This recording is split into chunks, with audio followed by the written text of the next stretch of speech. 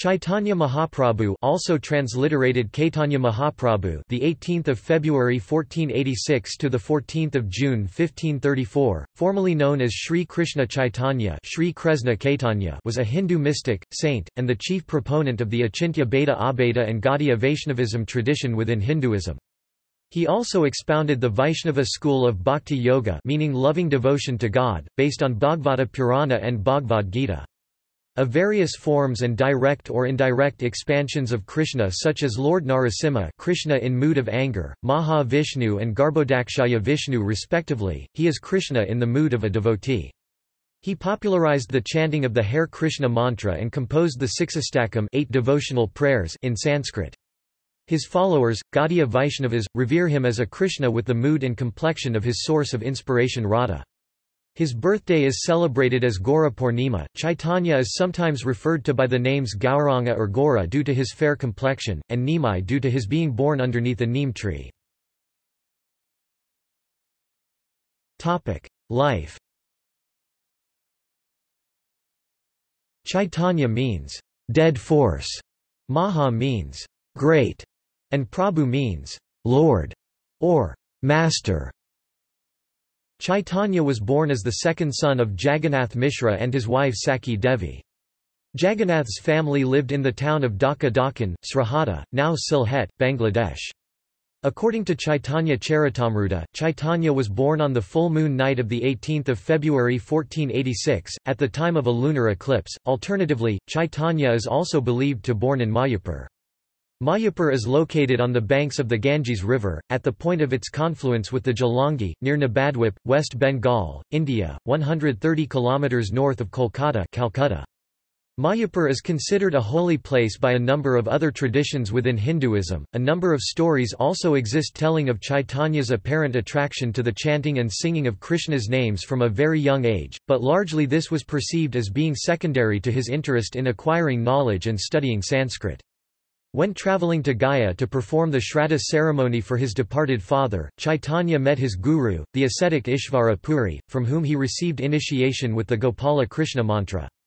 This meeting was to mark a significant change in Chaitanya's outlook and upon his return to Bengal the local Vaishnavas, headed by Advaita Acharya, were stunned at his external sudden change of heart from scholar to devotee and soon Chaitanya became the eminent leader of their Vaishnava group within Nadia. After leaving Bengal and receiving entrance into the Sannyasa order by Keshava Bharati, Chaitanya journeyed throughout the length and breadth of India for several years, chanting the divine names of Krishna constantly.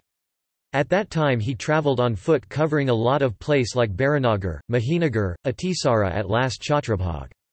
Chhatrabhag is the place where goddess Ganga and Lord Shiva met, then hundred mouths of Ganga was visible from here. From the source of Vrindaban Das's Chaitanya Bhagavat he bathed at Ambulinga Ghat of Chhatrabhag with intimate companions with great chorus chanting kirtan. After staying one night he set for Puri by boat with the help of local administrator Ram Chandra Khan. He spent the last 24 years of his life in Puri, Odisha, the great temple city of Jagannath in the Radhakanta math.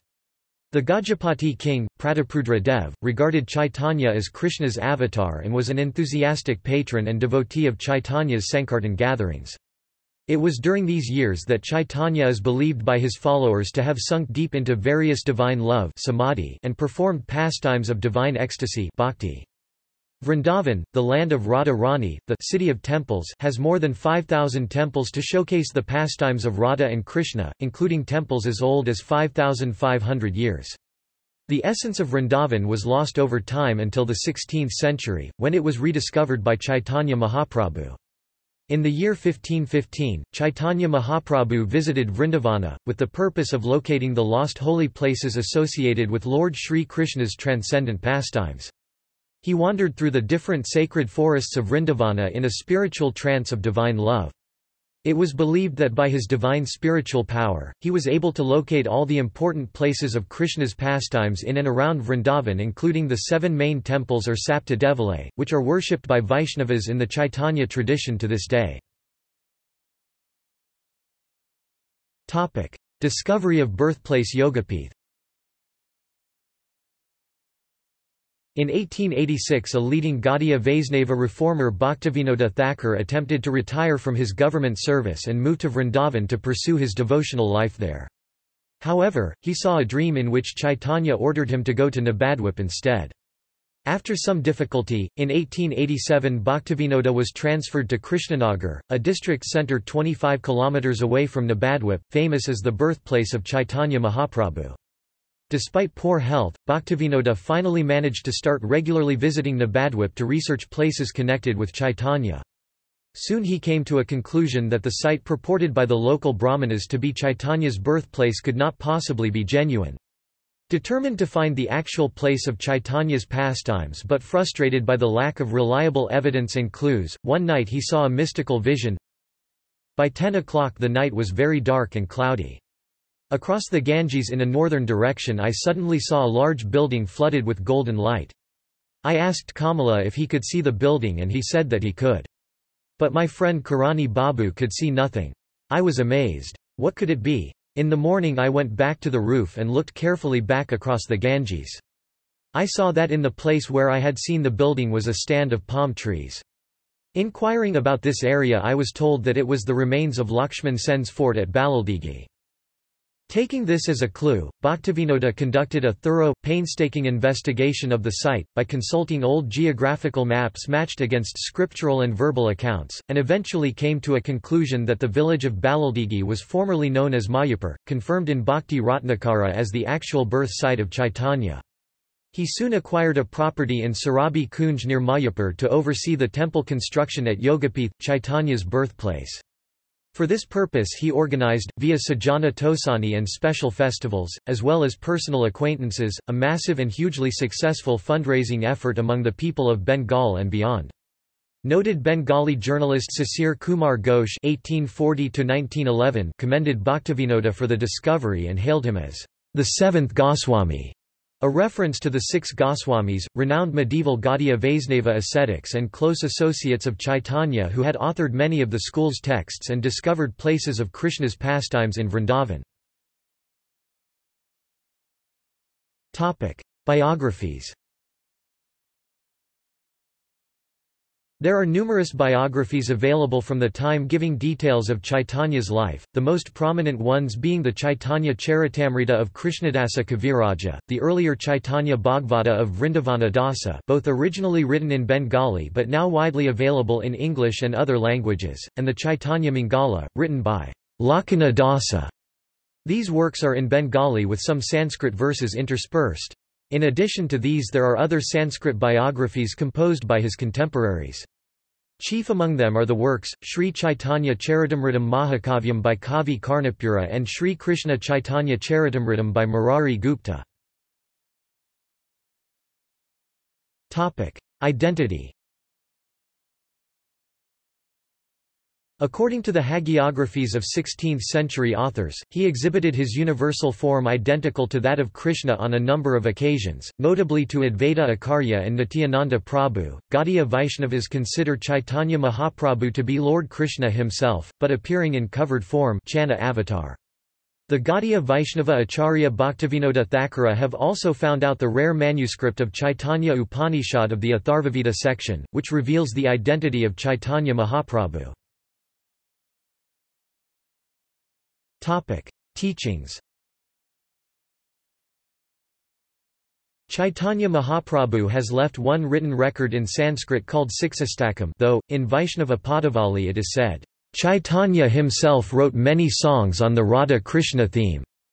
Chaitanya's epistemological, theological and ontological teachings are summarized as ten roots or maxims The statements of Amnaya scripture are the chief proof. By these statements the following ten topics are taught. Krishna is the supreme absolute truth. Krishna is endowed with all energies. Krishna is the source of all rasa flavor, quality, or spiritual rapture, emotions. The jivas individual souls are all separated parts of the Lord. In bound state the jivas are under the influence of matter, due to their tatistha nature. In the liberated state the jivas are free from the influence of matter, due to their tatistha nature. The jivas and the material world are both different from and identical to the Lord. Pure devotion is the practice of the jivas. Pure love of Krishna is the ultimate goal. Krishna is the only lovable blessing to be received. Philosophy and tradition Despite having been initiated in the Madhvacharya tradition and taking sannyasa from Shankara's tradition, Chaitanya's philosophy is sometimes regarded as a tradition of his own within the Vaishnava framework, having some marked differences with the practices and the theology of other followers of Madhvacharya. He took mantra upadesa from Isvara Puri and sannyasa diksha from Keshava Bharati. Chaitanya is not known to have written anything himself except for a series of verses known as the Siksastaka, or eight verses of instruction which he had spoken, and were recorded by one of his close colleagues. The eight verses created by Chaitanya are considered to contain the complete philosophy of Gaudiya Vaishnavism in condensed form. Chaitanya requested a select few among his followers who later came to be known as the six Gosvamis of Vrindavan to systematically present the theology of bhakti he had taught to them in their own writings. The six saints and theologians were Rupa Goswami, Sanatana Goswami, Gopala Bhatta Goswami, Raghunatha Bhatta Goswami, Raghunatha Dasa Goswami and Jiva Goswami, a nephew of brothers Rupa and Sanatana. These individuals were responsible for systematizing Gaudiya Vaishnava theology. Narottama Dasa, Srinivasa Acharya, and Syamananda Pandit were among the stalwarts of the second generation of Gaudiya Vaishnavism.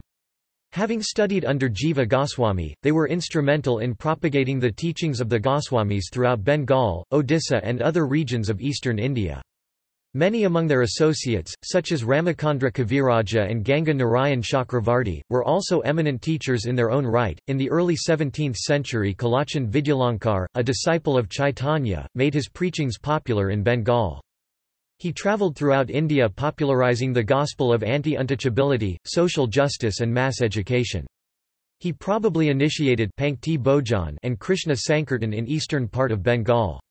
Several schools Sampradaya have been practicing it for hundreds of years. Geetashri Chabibandiopadhyay and Radharani Devi are among many who achieved fame by singing kirtan. The Dalits in Bengal at that time neglected and underprivileged caste readily accepted his libertarian outlook and embraced the doctrine of Mahaprabhu. His disciples were known as Kalachandi Sampraday who inspired the people to eradicate illiteracy and casteism. Many consider Kalachand as the father of rationalism in East Bengal Purba Banga. .The festival of Kheturi, presided over by Jahnava Thakurani, the wife of Nityananda, was the first time the leaders of the various branches of Chaitanya's followers assembled together. Through such festivals, members of the loosely organized tradition became acquainted with other branches along with their respective theological and practical nuances. Around these times, the disciples and descendants of Nityananda and Advaita Acharya, headed by Virabhadra and Krishna respectively, started their family lineages Vamsa to maintain the tradition. The Vamsa descending from Nityananda through his son Virabhadra forms the most prominent branch of the modern Gaudiya tradition, though descendants of Advaita, along with the descendants of many other associates of Chaitanya, maintain their following especially in the rural areas of Bengal. Gopala Guru Goswami, a young associate of Chaitanya and a follower of Vakresvara Pandit, founded another branch based in Odisha. The writings of Gopala, along with those of his disciple Dhyanacandra Goswami, have had a substantial influence on the methods of internal worship in the tradition. From the very beginning of Chaitanya's bhakti movement in Bengal, Haridasa Thakur and others Muslim or Hindu by birth were the participants. Sri Ramakrishna Paramahamsa, the great sage of Dakshineswar, who lived in the 19th century, emphasized the bhakti marga of Chaitanya Mahaprabhu, whom he referred to as Gauranga, the gospel of Sri Ramakrishna. This openness received a boost from Bhaktivinoda Thakura's broad-minded vision in the late 19th century and was institutionalized by Bhaktisiddhanta Sarasvati in his Gaudiya Matha in the 20th century. In the 20th century the teachings of Chaitanya were brought to the West by A. C. Bhaktivedanta Swami Prabhupada (1896–1977), a representative of the Bhaktisiddhanta Sarasvati branch of Chaitanya's tradition. Prabhupada founded his movement known as the International Society for Krishna Consciousness to spread Chaitanya's teachings throughout the world. Saraswata gurus and acharyas, members of the Goswami lineages and several other Hindu sects which revere Chaitanya Mahaprabhu, including devotees from the major Vaishnava holy places in Mathura district, West Bengal and Odisha, also established temples dedicated to Krishna and Chaitanya outside India in the closing decades of the 20th century. In the 21st century Vaishnava Bhakti is now also being studied through the academic medium of Krishnology in a number of academic institutions. Cultural legacy Chaitanya's influence on the cultural legacy in Bengal and Odisha has been significant, with many residents performing daily worship to him as an avatar of Krishna. Some attribute to him a renaissance in Bengal, different from the more well-known 19th-century Bengal Renaissance. Salimullah Khan B. 1958, a noted Bangladeshi linguist, maintains, 16th century as the time of Chaitanya Dev, and it is the beginning of modernism in Bengal. The concept of humanity that came into fruition is contemporaneous with that of Europe. Noted Bengali biographical film on Chaitanya, Nilachali Mahaprabhu (1957) was directed by Kartik Chattopadhyay (1912 to 1989). Topic. See also. Achyutananda Gauranga. Jagannath Temple Puri. Pancha Tattva Vaishnavism. Prabhupada. Topic. Footnotes. Topic. References. Topic. Further reading Jadunath Sarkar, Chaitanya's Pilgrimages and Teachings, from his contemporary Bengali biography, The Chaitanya Charit Amrita, Madhya Lila by K. R. Snadasa Kaviraja Goswami External links Works by or about Chaitanya Mahaprabhu at Internet Archive Works by or about Chaitanya at Internet Archive Chaitanya at Encyclopaedia Britannica Chaitanya movement at Encyclopaedia Britannica Gaudiya Vaishnavism, the tradition of Chaitanya Life of Sri Chaitanya Mahaprabhu Scriptural statements, predictions regarding Caitanya Mahaprabhu's birth Lord Gauranga and his message of devotion Theosophical. C.A. Yogpith, Mayapur, Navadvipa, the birthplace of Sri Caitanya Mahaprabhu